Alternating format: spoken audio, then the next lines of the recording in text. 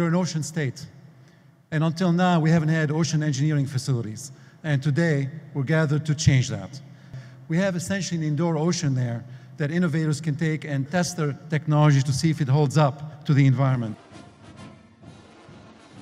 Over the last 20 years, the Advanced Structures and Composites Center has grown dramatically in physical size and national stature.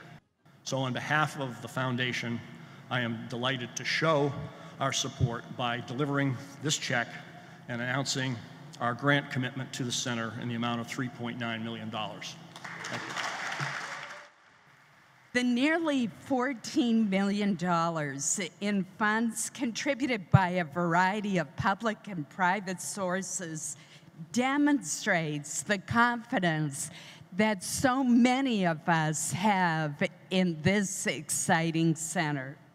Uh, it is, in all seriousness, a great honor and pleasure to be here today representing the Obama administration and the U.S. Department of Commerce to help celebrate the completion and the opening of the Ocean Engineering Center here at the university.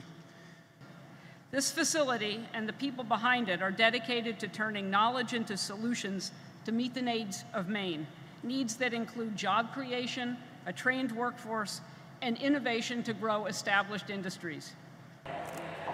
I hereby declare the Harold Alfond W. Square Ocean Engineering